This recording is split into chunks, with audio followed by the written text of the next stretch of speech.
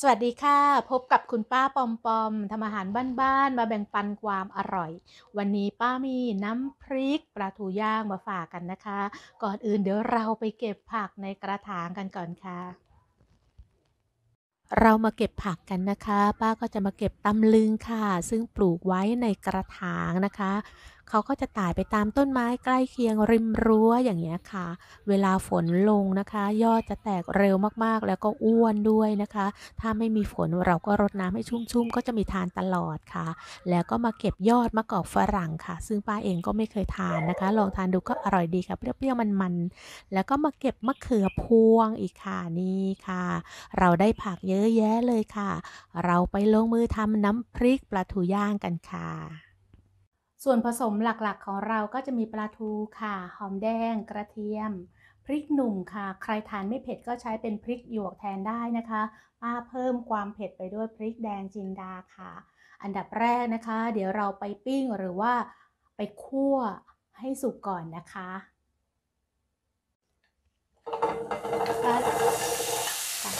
เรามาคั่วหอมกับกระเทียมของเรากันนะคะ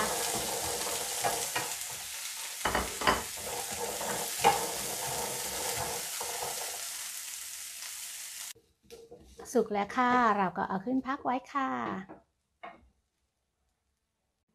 เราก็มาย่างพริกของเราให้สุกนะคะ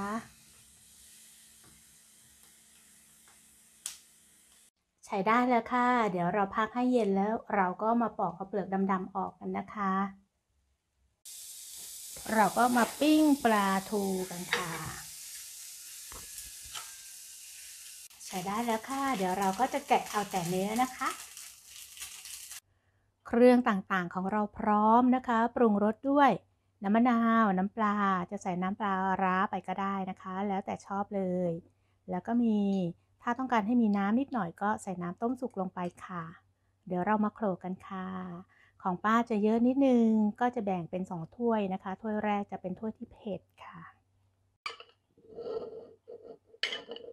ป้าจะไม่มีสูตรให้นะคะ เพราะว่าความเค็มของ ปลาทูจะต่างกันนะคะนี้เราก็จะโขลกหยาบๆนะคะ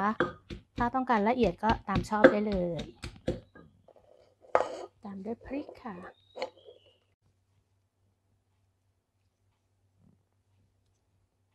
ก็จะนี่ค่ะหั่นเป็นชิ้นๆ จะได้โขลกได้ง่าย ๆนะคะ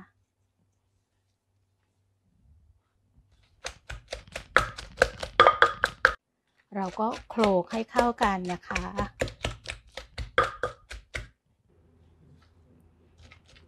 เข้ากันดีแล้วก็ตามด้วยปลาทูนะคะสำหรับปลาทูเนี่ยเราก็จะใช้มือบี้บี้อีกสักครั้งหนึ่งนะคะ เพื่อจะได้ไม่มีก้างค่ะ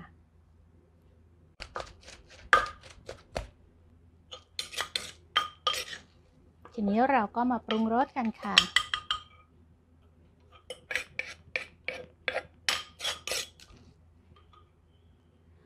เรามาปรุงรสกันค่ะ เราต้องชิมความเค็มก่อนนะคะปลาทูของป้าจะไม่ค่อยเค็มค่ะ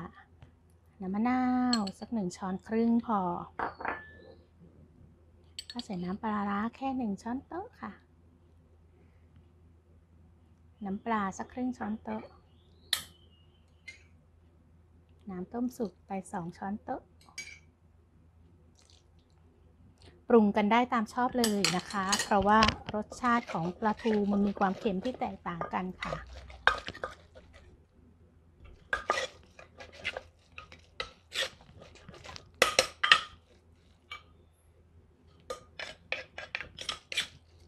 เรียบร้อยเราไปจัดเสิร์ฟกันค่ะพริกปลาทูย่างของป้าก็พร้อมเสิร์ฟค่ะ มีทั้งสองแบบเลยค่ะเผ็ด กับไม่เผ็ดนะคะ ผักก็ตามชอบเลยสำหรับผักที่เก็บมานะคะ นี่คือผักตำลึงค่ะ ป้าก็จะรูดไว้เป็นคำๆแบบนี้เลยนะคะ ส่วนยอดมะกอกเนี่ยค่ะ ป้ายังไม่เคยทานนะคะ เดี๋ยวจะต้องลองทานดูค่ะว่าเป็นอย่างไร ผักก็ตามชอบกันได้เลยนะคะ เดี๋ยวเราไปทานกันค่ะ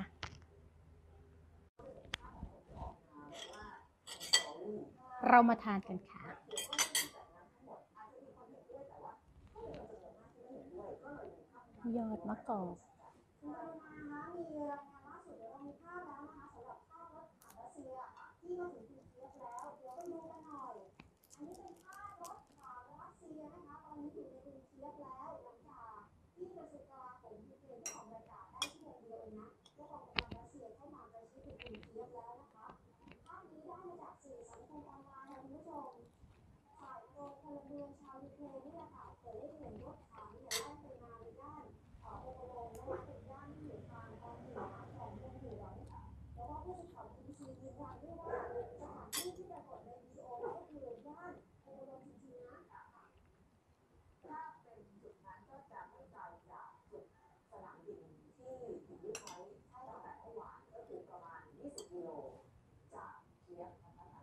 อร่อยจริง ๆ ค่ะสำหรับเมนูนี้ทำให้เราทานผักได้เยอะเลยนะคะ ลองทำรับทานกันค่ะ